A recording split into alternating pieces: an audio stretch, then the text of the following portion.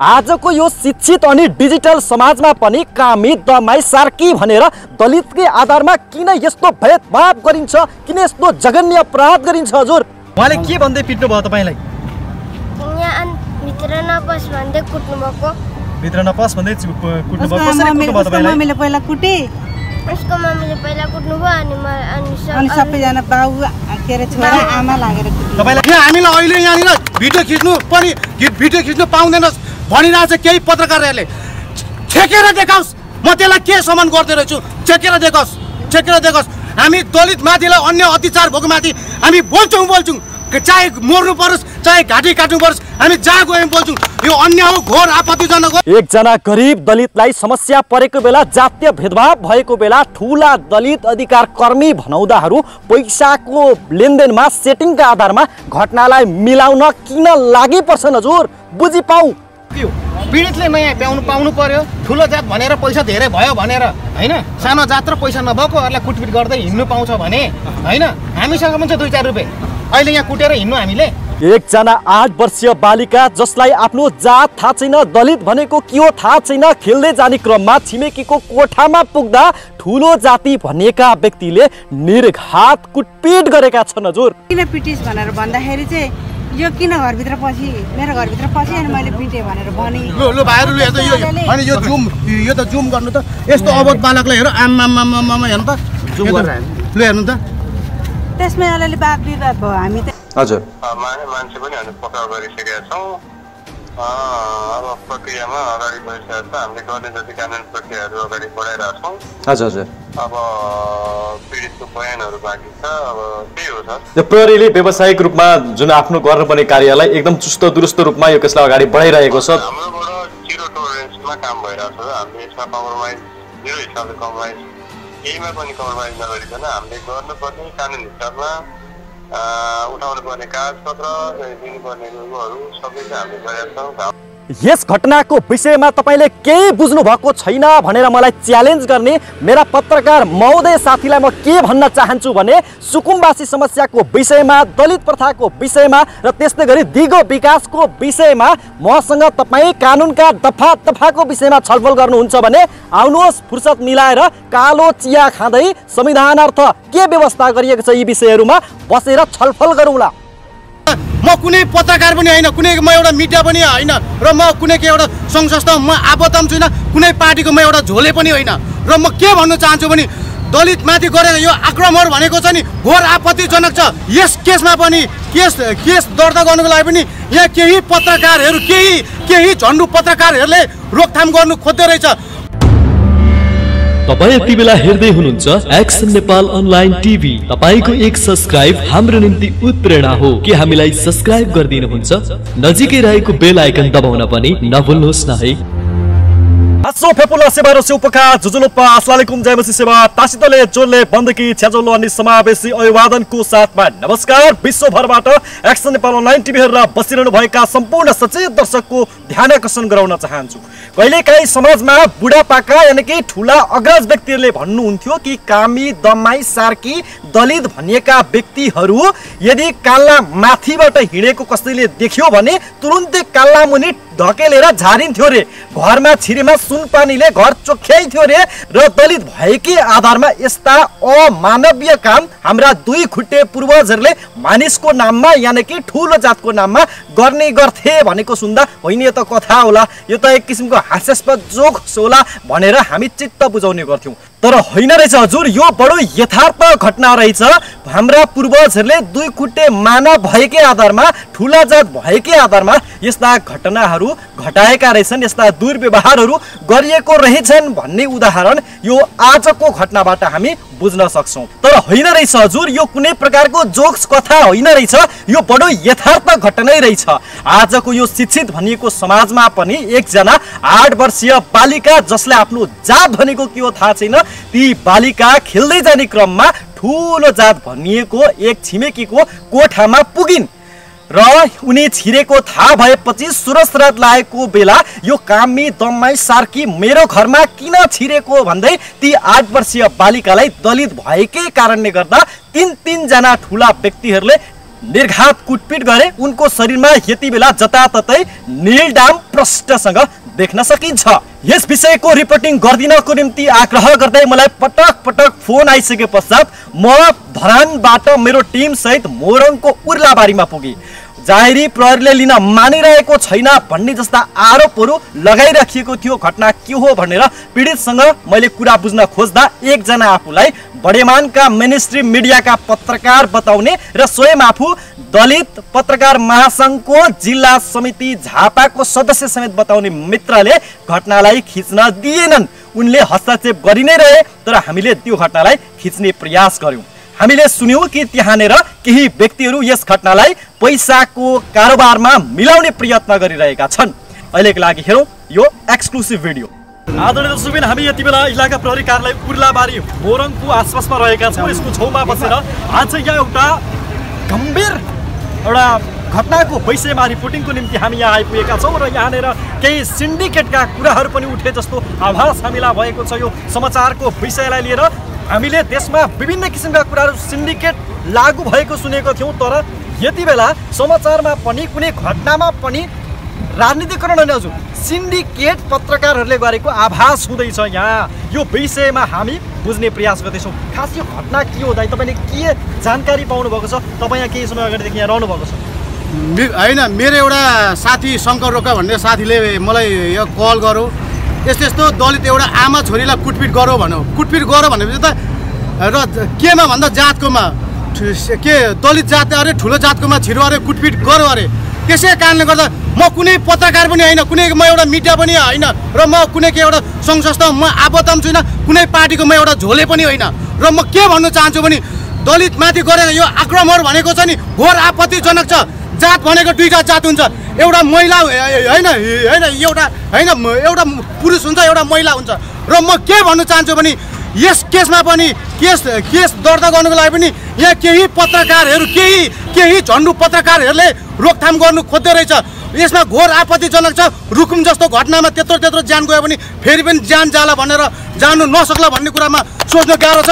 यहाँ हामीलाई अहिले यहाँनिर भिडियो खिच्नु पनि भिडियो खिच्नु पाउँदैन भनिरहेको छ केही पत्रकारहरूले। छेकेर देखाओस्। म त्यसलाई के सम्मान गर्दो रहेछु? छेकेर देखाओस्। छेकेर देखाओस्। हामी दलित माथिलाई अन्य अत्याचार भएको माथि हामी बोल्छौँ बोल्छौँ। चाहे मर्नु परोस् चाहे घाँटी काट्नु परोस् हामी जहाँ गयौँ बोल्छौँ। यो अन्य हो घोर आपत्तिजनक हो यो घोर आपत्तिजनक हो। र सबै कुरा मैले भन्नु गर्नु जीवन विष्ट भाइले पनि देखेको छु। यो कुरा पनि बोल्दैन दुई शब्द र मेरो साथीले पनि बोल्दो थियो नमस्कार। अब यहाँ हाम्रो अहिले चाहिँ उर्लाबारीको इलाका प्रहरी कार्यालयको हामी छेउमा उपस्थित भएको छौँ। आजको चाहिँ यो भेला भनेको चाहिँ एउटा दलितको बारेमा कुरो मात्रै नभएर एउटा मानवले मानवलाई गर्ने हिंसाको कुरो हो यो होइन? यो एउटा जातको कुरो मात्रै नभएर मानवले मानवलाई यसरी चाहिँ होइन? कुटपिट गर्नु चाहिँ एकदम नराम्रो कुरो घरभित्र पस्दैमा।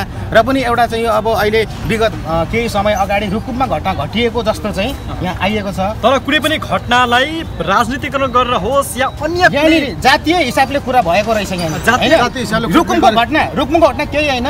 यहाँनिर ताल पऱ्यो भने रुकुमको डबल घटना हुन्छ यहाँनिर होइन? यहाँ अहिले कुनै पनि? घटना कुनै पनि घटनामा हामीले खोज्ने पत्रकारको भूमिका भनेको न्यायको निम्ति एउटा ब्रिजको काम गर्ने हो सघाउने हो सत्य तथ्य बाहिर ल्याउने हो। तर यहाँ पीडितले न्याय पाउनु पर्यो होइन? पीडितले न्याय पाउनु पाउनु पर्यो ठुलो जात भनेर पैसा धेरै भयो भनेर होइन? सानो जात र पैसा नभएकोहरूलाई कुटपिट गर्दै हिँड्नु पाउँछ भने होइन? हामीसँग पनि छ दुई चार रुपियाँ अहिले यहाँ कुटेर हिँड्नु हामीले। एउटा घटना के भएको भन्नु। अघि बिहानसम्म हिजोसम्म जुन पीडितले चाहिँ हामीलाई गुहारेका थिए। गुहारेर हामी आयौँ। झापादेखि झापादेखि तर आज चाहिँ तर आज चाहिँ जुन आज चाहिँ जुन पीडित पक्षले चाहिँ आज नगरे मलाई गाउँठाउँको मान्छेले यसो यसो भने भनेर। अहिले उनीहरू बोल्न खोजेनन्। भनेपछि यो तपाईँ हामी के बुझ्नु पर्ने पीडितलाई कसले दबाब दिएछ? जबकि तपाईँहरू गाउँ पीडितलाई ठाउँ- सघाउनको निम्ति गाउँ आउनु ठाउँ- भएको गाउँ अहिले ठाउँ- पीडित बोल्न मान्नु? उसले पत्रकार भनेछ उसले रेकर्ड गाउँ गरेको ठाउँकोले छ। कहिले निकाल्ने त? यति गाउँ परेको ठाउँकोले बेलामा चाहिँ ननिकालेर बोल्न कहिले सुन्नुहोस्। अहिले यत्रो बेलासम्म हामी यत्रो यत्रो समाजको अगाडि निकाल्दैन भने होइन तपाईँले के त्यो चाहिँ कहिले निकाल्ने हो कुरा? गाउँ ठाउँकोले जब उहाँलाई धम्काएको मान्छेहरू त हामीले त पचास- पर्दाफास गर्नु पर्यो नि पचास साठीजना हुन्छ, के पचास हो? साठी एकछिन भन्नु। पचास साठीजना मान्छे चौकीमा भेला हुँदाखेरि मैले वार्ड अध्यक्षलाई मैले फोन गरेँ सर हजुर कहाँ हुनुहुन्छ? हजुर भने। यहाँ चाहिँ भने तपाईँहरूको गाउँठाउँमा एउटा दलितहरूले सबैले उठाएर तपाईँलाई चाहिँ एउटा जिताएको छन्। तपाईँ एउटा गाउँठाउँको वार्ड अध्यक्ष मान्छे भनेको एउटा वार्डको मन्त्री सरको मान्छे हो। तपाईँ चाहिँ यहाँ एकचोटि आइदिनु पर्यो। हजुर भन्दाखेरि म आज भ्याउँदिनँ भन्नुभयो। है त अहिले मसँग यी नम्बर छ। भोलि यही मैले बोलेको चाहिँ उहाँले पनि बोल्नुहुन्छ जब अब गर्दा यति बेला हाम्रा दर्शकलाई यो घटना भएको के हो भनेर मजाले म भन्दैछु अनि जब अहिले जुन पीडित पक्षबाट जुन हिजो हामीलाई जुन हामीलाई जुन बोलायो होइन? तर आज हामी यहाँ भेलाउँदा अहिले जुन हाम्रो दिदी चाहिँ दिदी चाहिँ अहिले हामी आज नगरौँ। भोलि एकचोटि त तिमीलाई पनि एउटा म भन्दैछु त भन्दैछु। पीडित पक्ष दिदीले उहाँलाई भने अरे तपाईँ हामी गाउँठाउँमा एउटा मिल्नुपर्छ। भनेपछि उहाँलाई चाहिँ के भने तनाव भयो। भोलि म पनि गाउँ चाहिन्छ भन्ने भयो। तर यो गाउँठाउँमा एउटा कुरो उहाँलाई तनाव दिएर चाहिँ एउटा जे भए पनि दबाब दबाबमा। राखेको हुन्।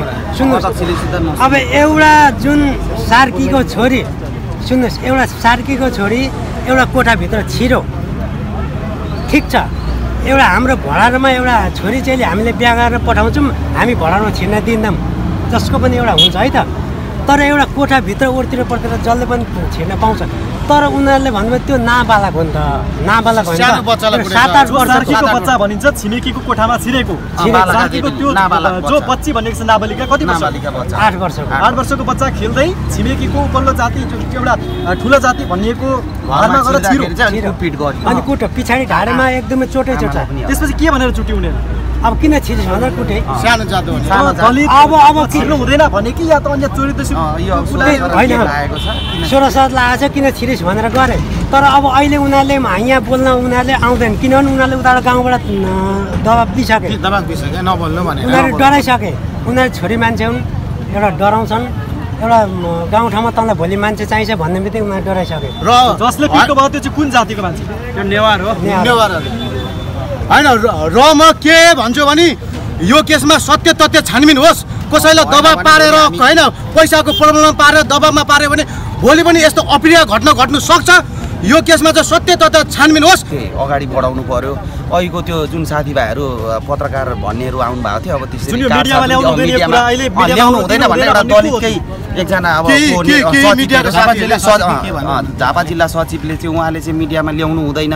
अब कसले दबाब दिएको छ त्यो रेकर्ड गरेको छु भने के घरमा गएर त सुन्ने होइन त्यो त दर्शकहरूलाई सुनाउनु पऱ्यो नि त। दबाब भएको कुरा उसलाई चाहिँ थिचोमिचो भएको कुरा त सबै मिडियामा भन्नु पऱ्यो नि त। अनि ऊ आफ्नो तरिकाले गर्नु चाहिँ उसले त पाउँदैन नि त। दलित। पत्रकारले नै यो कुरालाई अहिले मिडियामा ल्याउनु हुँदैन भनेर। ल्याउन दिनु भएन। सचिवले नै के पनि भन्नुभयो भने त। हतपत भन्ने कुरा पनि गर्नुभयो है। के हो? यस घटनाको जो पीडित हुनुहुन्छ म उहाँसँग कुरा गर्न चाहन्छु। अ, हजुरको आफ्नो नाम बताइदिनुहोस् न। मेरो नाम दुर्गा रोका यो घटना कसरी घट्यो यो विषय बताइदिनुहोस् यो घटना भनेको चाहिँ सुरुको कुरा गर्दाखेरि अब मेरो नातिनी सानो। यस्तो अबोध बच्चालाई कुटेको लो हेर्नु। छ वर्षको नातिनी चाहिँ आजभन्दा दुई महिना अगाडि उसको घरभित्र पसेछ र पिटिस मेरो नातिनीलाई। अनि किन पिटिस भनेर भन्दाखेरि चाहिँ यो किन घरभित्र पसी? मेरो घरभित्र पसी अनि मैले पिटेँ भनेर भने। लु लु भाइहरू लु हेर्नु यो होइन यो जुम यो त जुम गर्नु त यस्तो अबोध बालकलाई हेर आम्मामामामा हेर्नु त। जुम यो त- गरेर हेर्नु। लु हेर्नु त। त्यसमै अलिअलि वाद विवाद भयो। हामी त्यतिकै फेरि चुपचाप लाग्यौँ। चुपचाप लागिसकेपछि अब यसलाई पेल्न सकिने रहेछ भन्ने त- किसिम भएछ उसलाई होला र यसलाई मैले हिजो बिहान म सात दिनमा हिजो उठेको बिरामी म धेरै साह्रै बिरामी भएँ सात दिनमा उठेँ म हिजो। अनि यो नानी लडी चाहिँ लडेपछि यो ओठ खुलाइराखेको चाहिँ अनि ज्यादा नानी फ्रिजबाट पानी लिएर आइज भनेर पठाउँदाखेरि आफ्नो घरमा रहेन रहेछ चिसो पानी। अनि पल्लो घरमा पठाउँदाखेरि यो एउटा सानो फुच्चेसँग मागिचे र भित्र सँगसँगै गएछ त्यो घरमा चाहिँ सधैँ अब बुहारीको घर हो त्यो भित्र बाहिर आउने जाने खा खाने त्यो मतलब थिएन उनीहरू छोराबुहारीसँग। अनि पल्लो घरको सासूले चाहिँ आएर यो किन भित्र पस्यो भनेर दुईपट्टि हातमा हातले कपालमा समातेर जगाटेर बाहिर निकालिसेर अनि गालामा दुई झापड हाने। यो चाहिँ घरभित्र किन पसेको? भनेरै कुटेको कि सानो जात भनेर कुटेको? यो, अ, सोह्र सराद लागेको बेलामा यहाँ भात चढाएको छुइनँ मैले। किन चाहिँ भित्र पसेर यस्तो गरी भनेर यसलाई दुई झापड हाने चाहिँ। सानो जात भनेर। अनि अब पहिले मेरो नातिनी त सानो जात भनेर मेरो घरभित्र पसेँ अनि मैले कुटेँ भनेर भने। अहिले पनि अब त्यही कुरा भयो नि त। सानो उहाँको जातै खास आमा चाहिँ कहाँ भनेर। हुनुहुन्छ यसको आमा सानो अब पहिला हिँडेको यसको बाउ टुरो टुरो बच्चालाई हजुरको आफ्नो शुभ नाम अब एकछिन एकछिन एकछिन एकछिन एकछिन यता यता एकछिन एकछिन तपाईँलाई अघि एकछिन एकछिन अघि यो तपाईँ हामी ठानामा आउनुभन्दा अगाडि कसैले यहाँ फोन गरेको हो कि एकछिन एकछिन एकछिन एकछिन एकछिन एकछिन। होइन। दबाब होइन ल एकछिन। ल एकछिन एकछिन। तपाईँ चुप लाग्नु एकछिन तपाईँ चुप लाग्नु।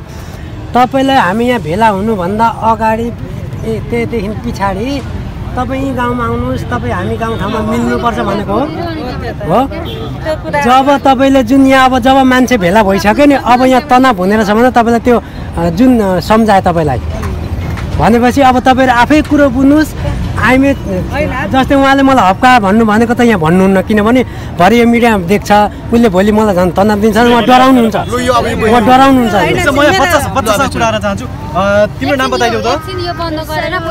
हामी पत्रकारले कुरा नबुझे कसले बुझ्छौ? हजुरको आफ्नो शुभ नाम बताइदिनुहोस् न। हजुर। ए तपाईँलाई कसले पिटेको छिमे कसले पिट्नु भएको अम्बिर रोकाले ए अम्बिर श्रेष्ठले कुटेको भनेर भन् न नाम थाहा छैन अम्बिर दाजु? अनि ठुलो बुवा भन्नुहुन्थ्यो कि के छिमेकी के भनेर बोलाउनुहुन्थ्यो उहाँले? अम्बिर दाई। ए उहाँले के भन्दै पिट्नु भयो तपाईँलाई? भित्र नपस भन्दै कुट्नु भएको भित्र नपस भन्दै कुट्नु भयो कसरी कुट्नु भयो तपाईँलाई? मम्मीले पहिला कुटे। उसको मम्मीले पहिला कुट्नु भयो अनि म अनि सब- अनि सबैजना बाउ के अरे छोरा आमा लागेर कुट्नु तपाईँलाई चाहिँ के बाउ छोरा आमा सबै भएर। तिनजना भएर तपाईँलाई चाहिँ के भन्दै चुट्नु भयो उहाँले सबभन्दा पहिला भित्र नपस भनेर कुट्नु भएको पानी जाँदाखेरि के केले चुट्नु भयो हातैले पिट्नु भयो कि अनि लट्ठी पनि युज गर्नुभयो कि लट्ठी त यो गर्नुभयो होइन तर कुट्नु चाहिँ भएन के केले कुट्नु भयो हातले मात्रै कुट्नु भयो गालामा गालामा कुट्नु भयो? तपाईँको पछाडि ढाडमा पनि चोट छ हो। एकपल्ट कपाल चोट पनि। देखाइदिनु होला तर त्यसमै हामी त्यो पनि हेर्नेछौँ। अ, चोट लाग्ने गर्ने पिट्नु भएको रहेछ घरमा छिरो भनेर।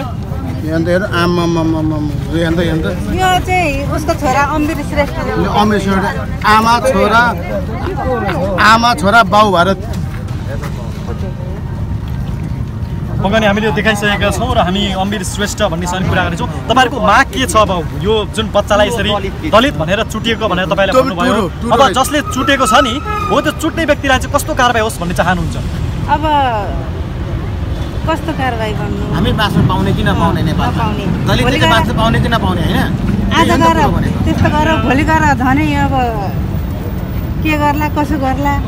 अब एक लाख टका घर छ अब डरै हुन्छ अब जहिले जहिले यस्तो खालको भयो भने त डराउनु पर्ने अनि तपाईँहरू। प्रहरीमा जागिरी दिनको निम्ति चाहिँ किन ढिला नि? अस्ति नै आउनुपर्ने अलिकति ढिलो हिजोको घटना। हो। यो। ए ल ठिक छ। अ, अब तपाईँलाई जसले चुट्नु भयो यसरी घरभित्र किन पसेको भन्दै जसले पिट्नु भयो उहाँलाई कारवाही गरियोस् भन्ने चाहनुहुन्छ तपाईँ? हजुर। पक्कै पनि आदरणीय उहाँले उसलाई अ, कुटेको- शब्दमा भन्न सक्नुहुने यसलाई भावाशय बुझ्नु आवश्यक हुन्छ जस्तो लाग्छ।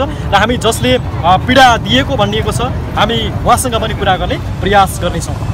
अन्त्यमा कुमार दाई के भन्नुहुन्छ? जुन यस्तो घटना तपाईँकै नजिक यस्तो घटना घटेको छ तपाईँको आफ्नो धारणा के छ? यो त के भने अब यो त यो त पशुको काम हो। यो मानवता भनेको अलिकति गुमेको जस्तो लाग्यो। र जुन बाउ आमा र छोरालाई चौबिस घन्टामा नेपालको होइन होइन विधिको शासन छ भने कारवाही होस् भन्ने मेरो चाहना र यो बिमारीको लागि चाहिँ यो पनि टुरा रहेछ टुरा रहेछ। आम नेपाली दाजुभाइलाई दाजुभाइलाई म के भन्न चाहन्छु भने बुलन्द आवाज तपाईँहरूले पनि सक्दो यो भिडियोलाई सेयर गरेर ठाउँ ठाउँसम्म पुर्याइदिनु होला भनेर म अन्तिममा म अनुरोध गर्न चाहन्छु। पक्कै पनि साँच्चीकै यदि जातकै आधारमा घरभित्र पसेको र चुटेको हो भने यी बच्चालाई न्यायको निम्ति सबै नेपाली दाजुभाइले यो आवाजलाई उठाउनु आवश्यक छ र उहाँहरूले जातकै कारणले गर्दा पिटेको हो कि होइन त? उहाँहरूले लगाएको आरोप सही हो कि होइन भन्ने विषयमा हामी एकतर्फी मात्र यो समाचार प्रस्तुत गर्दैनौँ जसले पीडा दिएको हो। हामी उहाँसँग पनि सत्य तथ्य बुझ्ने प्रयास गर्नेछौँ र सम्भव भएसम्म हामी यहाँको पुलिस प्रशासनसम्म पनि यसको विषयमा बुझ्ने प्रयास गर्नेछौँ। हामीलाई हेर्दै रहनुहोला। यस घटनाको विषयमा थप जानकारी बुझ्नको लागि हामीले इलाका प्रहरी कार्यालय उर्लाबारीका इन्सपेक्टर सापलाई फोन गर्ने प्रयास गर्दा उहाँ यति बेला विधामा रहेको जानकारी भएको र उहाँको काम सही सापले हेर्नु भएको भनेर थाहा भइसके पश्चात हामीले सही सापलाई फोन गरेर के प्रहरीले जारी लिन नमानेको हो भनेर प्रश्न गर्दा सही सापले यस घटना उप दोषी भनिएका व्यक्तिलाई तुरुन्तै पक्राउ गरी प्रहरीले अनुसन्धान गरिरहेको र यस घटनामा यदि दोषी देखिएमा हदैसम्मको कारवाहीको निम्ति प्रहरी तत्पर रहेको जानकारी हामीलाई दिनुभयो।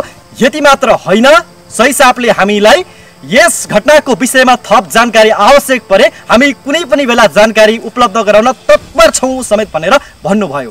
हामी इलाका प्रहरी कार्यालय उर्लाबारीलाई धेरै धेरै धन्यवाद दिन्छौँ।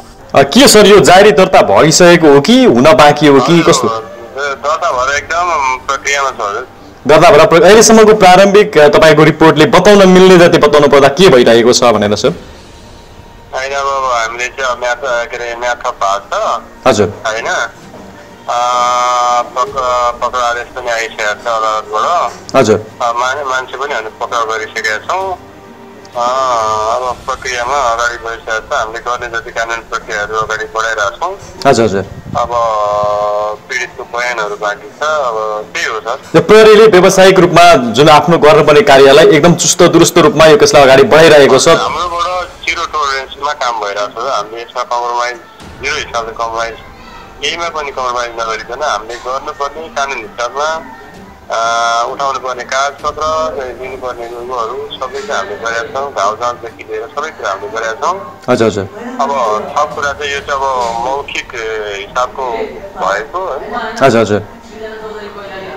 र यसको जुन यसमा जुन हामीलाई थप आवश्यक केही सूचना जानकारी लिनु पर्यो भने तपाईँहरू तत्पर हुनुहुन्छ दिनको निम्ति एकदम सर एकदम एकदम नमस्कार म भाग्य नेउपाने तपाईँहरू हेर्दै हुनुहुन्छ एक्सन नेपाल अनलाइन टिभी। यो च्यानललाई सब्सक्राइब गर्नुहोस् लाइक गर्नुहोस् सेयर गर्नुहोस्। थ्याङ्क यू सो मच सबैलाई बाई